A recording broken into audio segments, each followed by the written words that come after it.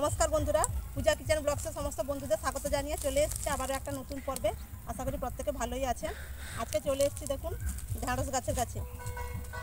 আমাদের পুকুর পাড়ে ঢ্যাঁড়স কিছু, ঢ্যাঁড়স বীজ দেওয়া হয়েছিল, ভালো গাছ উঠেছেও। আর ঢ্যাঁড়স হয়েছে, এখান থেকে একদম পুরো কচি কচি ঢ্যাঁড়স তুলবো। দিয়ে আজকে একদম চিংড়ি মাছ দিয়ে ঢ্যাঁড়সের একটা রেসিপি আপনাদের সঙ্গে শেয়ার করব।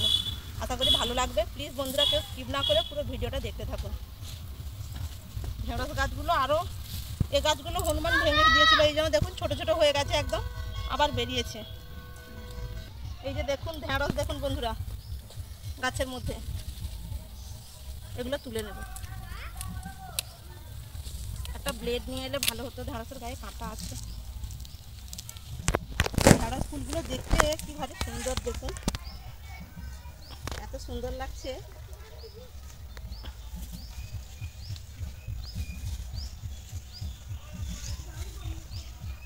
এইখানে আরও একটা আছে দেখুন একদম পুরো সবুজ পুরো ঢেঁড়সগুলো।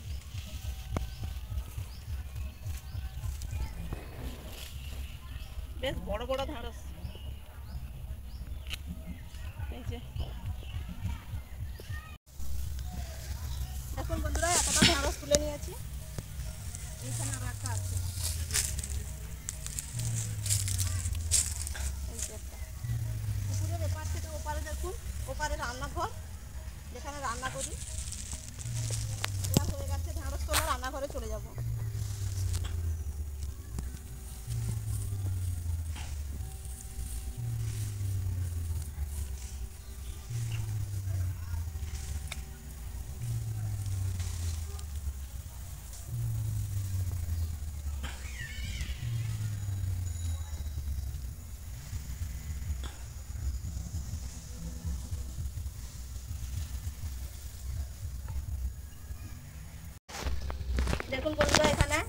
ধান জমির ভেতরে ঝাঁঝরি বসানো হয়েছিল। তার মধ্যে দেখুন মাছ পড়েছে। এই যে চিংড়ি মাছ, এগুলো হরিণা চিংড়ি, এগুলো জ্যান্ত থাকলে, এটা এখনও কিন্তু জ্যান্ত আছে, নড়ছে। এগুলো জ্যান্ত থাকলে একদম পুরো ছিটকে ছিটকে পালিয়ে যাবে চতুর্দিক। এই হরিণের মতো লাফায়, তাই এর নাম হরিণা চিংড়ি। আজকে এই চিংড়ি মাছ দিয়েই ঢাঁড়সের রেসিপি আপনাদের সঙ্গে শেয়ার করব। আমি মাছগুলো আগে ভালো করে বেছে নেব। জ্যান্ত থাকলে এর একটা লেজের যদি ঝটকা খান, একদম হাত পুরো কেটে রক্ত বেরিয়ে পড়বে।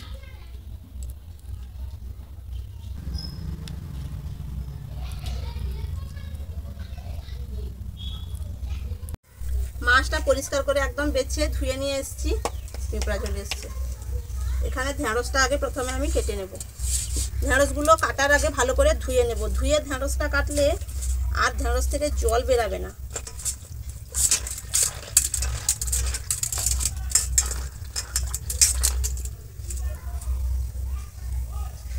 একটু এরকম কেয়ারচা করে কাটবো। দেখতে ভালো লাগবে।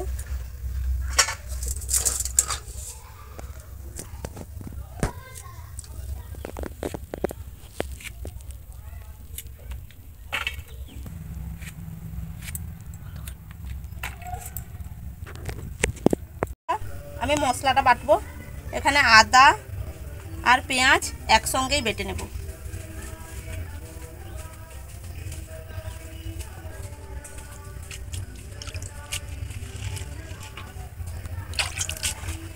আদা, পেঁয়াজ, দু রকমের সর্ষে। এই যে দেখুন, দু রকমের সর্ষে আছে এখানে, আর আছে গোটা জিরে। এই মশলাগুলোই বাটবো। প্রথমে আদা আর পেঁয়াজটা বেটে নেব। আদা কিন্তু একদম অল্পই দিয়েছি, দেখুন।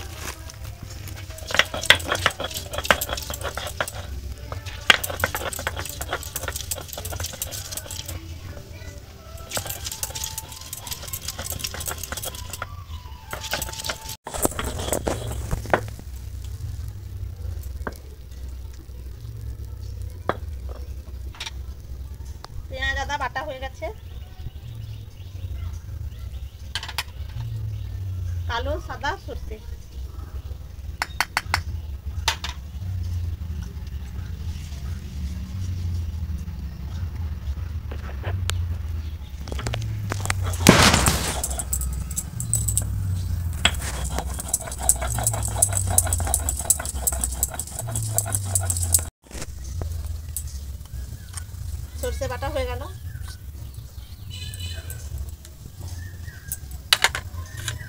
গোটা জিরে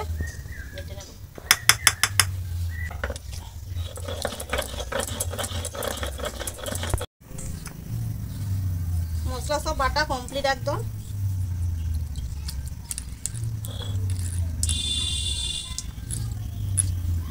এবার উনানটা জ্বালিয়ে আমি কড়াই চাপিয়ে নেব।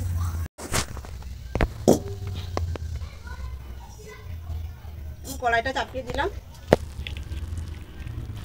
এখানে এই চিংড়ি মাছগুলোর মধ্যে আমি লবণ আর হলুদটা আগে মাখিয়ে নেব। লবণ, হলুদ গুঁড়ো।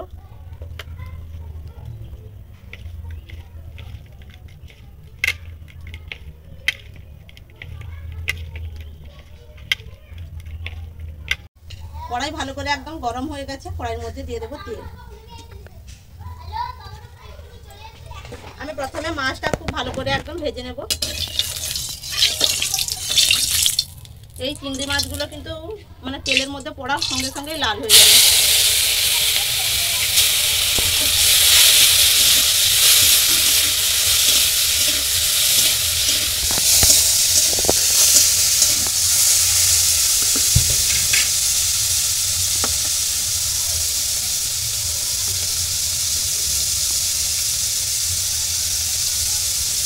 দেখুন চিংড়ি মাছগুলো কেমন লাল হয়ে গেছে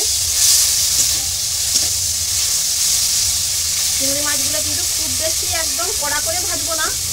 আর একটু ভেজে নেব। চিংড়ি মাছগুলো ভাজা হয়ে গেছে এই যে দেখুন, এবার তুলে নিচ্ছি।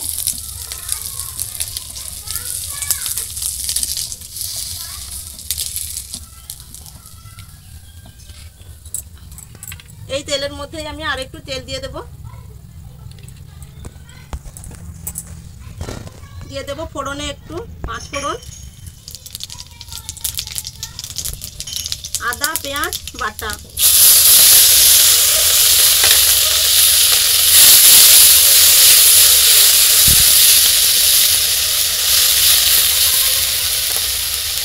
দিয়ে দেবো হলুদ গুঁড়ো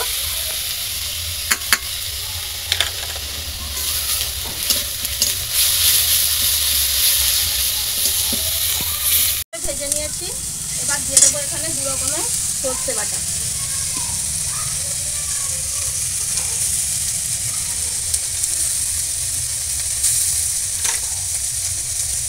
এর মধ্যে দেব অল্প একটু লবণ মশলার জন্য।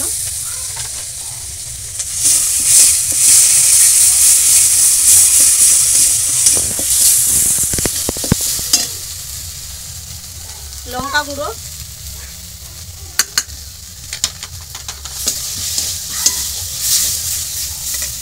দিয়ে দেবো একটু জল। এবার মশলাটা খুব ভালো করে একদম কষিয়ে নেব।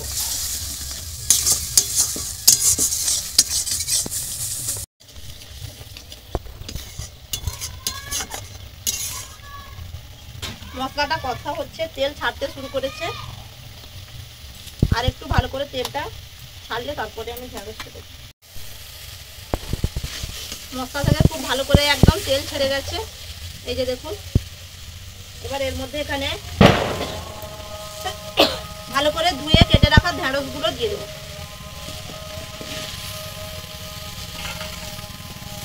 এর মধ্যে দিয়ে দেবো লবণ। এবার ঢেঁড়সটা একটু কষিয়ে নেব মশলার সঙ্গে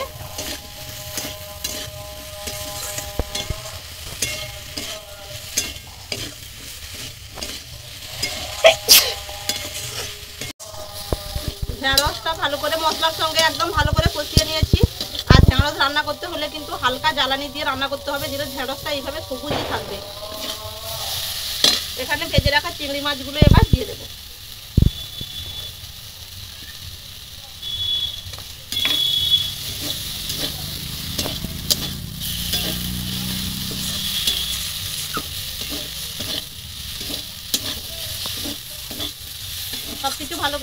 কষিয়ে নেওয়া হয়ে গেছে।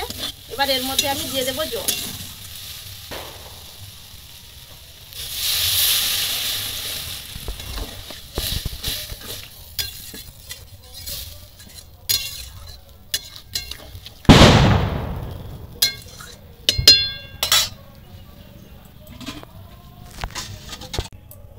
ঢাকা দিয়ে দেবো।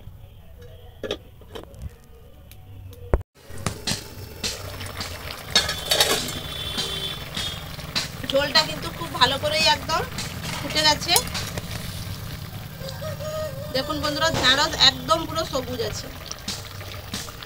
এবার এখানে দিয়ে দেবো বেটে রাখা জিরে। জিরে বাটাটা এরকম নামানোর এক মিনিট মতো আগে দিলেই জিরেটার একটা খুব ভালো গন্ধ থাকে জিরে বাটা। আমি জিরে বাটাটা দেওয়ার পরেও এক মিনিট মতো ফুটিয়ে নিয়েছি। একদম রেডি হয়ে গেছে একটা ঢ্যাঁড়স ভেঙে দেখাচ্ছি। দেখুন বন্ধুরা, কত সুন্দর একদম সেদ্ধ হয়ে গেছে ঢ্যাঁড়স এবার আমি নামিয়ে নেব। কালারটা দেখুন কত সুন্দর এসছে।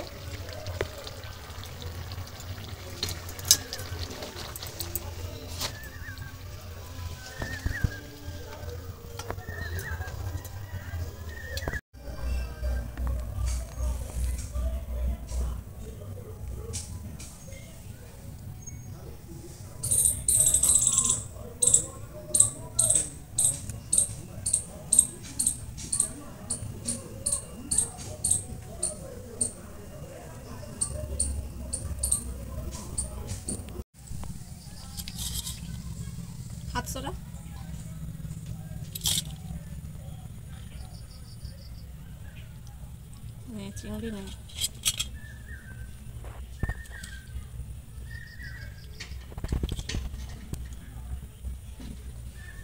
মাছটা দেবো না একা খেতে পারবি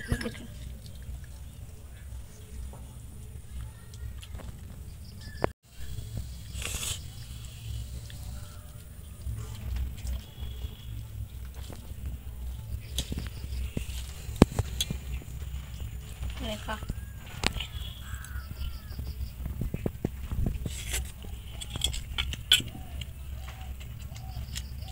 নে।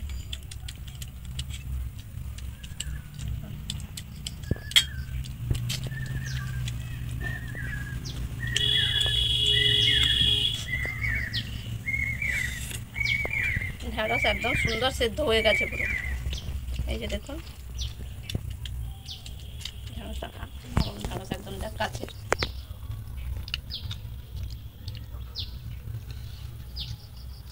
আমার এখানে পুকুরের পিছনে যে গাছটা হ্যাঁ সেখান থেকে তুলে নিয়ে এসেছি আজকে।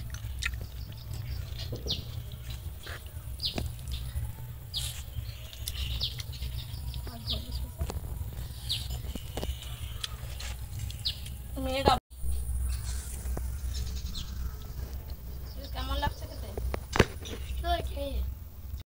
কেমন লাগছে খেতে? খুব ভালো লাগছে। তাড়াতাড়ি খেয়ে নে। খেয়ে দেখো। টেস্টি হয়েছে সত্যি ভালো লাগছে ঝোলটা। আর এই চিংড়ি মাছের তো টেস্টটা পুরো একদম সম্পূর্ণ আলাদা। কিন্তু মিথ্যা আমি কি মিথ্যা কথা বলি তোমার হাতে বানানো ঝোল টেস্ট না হয় কোথায় যায়? তুই খা খা তাড়াতাড়ি খা।